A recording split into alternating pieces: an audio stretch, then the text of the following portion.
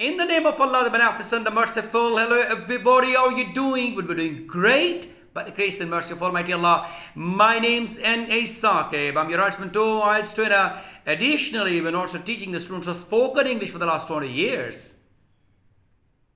Today's lecture is about another question type of the listening subtest of the IELTS, and that is none else except short answer questions as it is self-explanatory from its name or it is very much apparent from its name that the short answer to the questions are required by the candidate here.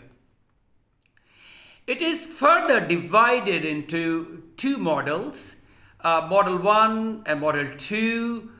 Let me explain them one by one. Uh, in the first model, in this task type, you will be given a question for which you have to write a short answer using information from the listening text. So one thing is clear, this is not a general knowledge type of question. The second model is, sometimes you may be given a question which requires you to list two or three points. So this is the second model. So here you gotta be very much uh, touchy about the word limit. So you will be instructed on the word limit. Typically, no more than three words and or a number. So be sure about the word limit. And then my important tip is please, please place some words in blanks. Even if you don't understand the answer. Because there is no negative marking for the wrong answer, you won't be penalized. So writing something is better than nothing. In short answer questions, if you cannot answer a question, do not just leave it undone. So place some words in the blanks, but not more than, but not more than three words as per instructed by the examiner.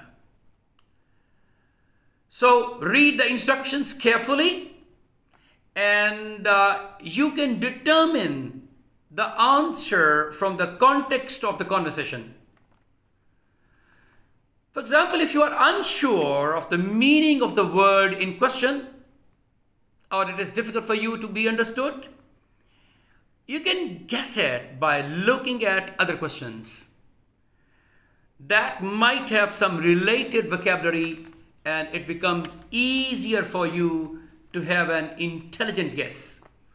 So I never recommended the random guess. I always talk about smart guess or educated guess or an intelligent guess.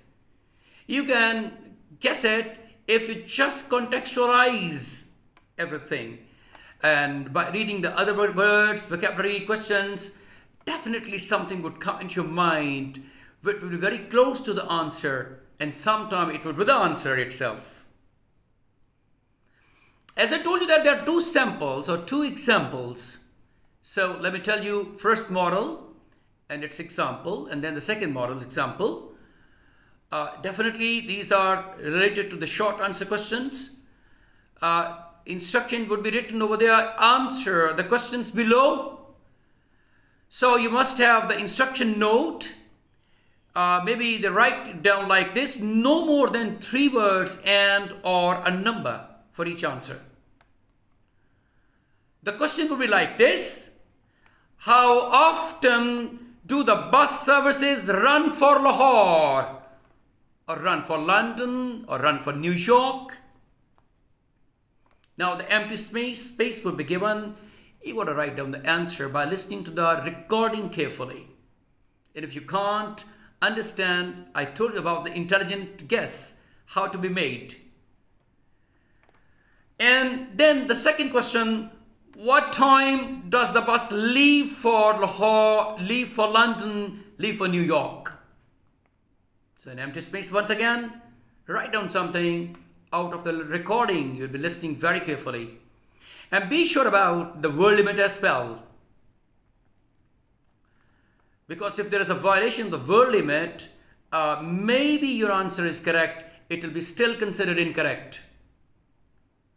Now talking about the second model, short answer questions.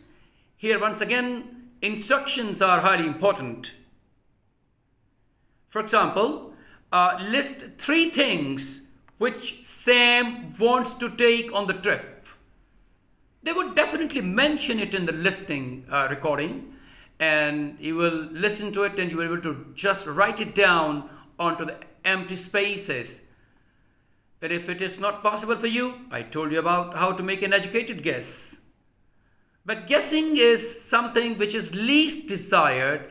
It is your listening with concentration and careful listening which will supply with the answers, definitely. Uh, the question will be like this. Write no more than three words for each answer. The question was, list three things which Sam wants to take on the trip.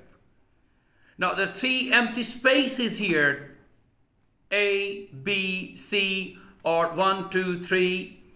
So you can write it down by listening to the recording very carefully. And in this way, your answer will definitely be correct if you are giving a lot of concentration for this task type. So God bless you all. Thank you very much indeed, my dear friends. We also take the online classes. If you're interested, you can contact us through our WhatsApp number, which is mentioned over there, where you are, you are just viewing this, for example, on YouTube, on Google, Google Maps, everywhere, on Facebook as well with the same name page, Genius Institute Lahore. And don't forget to subscribe our channel, Genius Institute Lahore on YouTube for further valuable videos on spoken English and IELTS. Until then, God bless you all. Thank you very much indeed. Bye.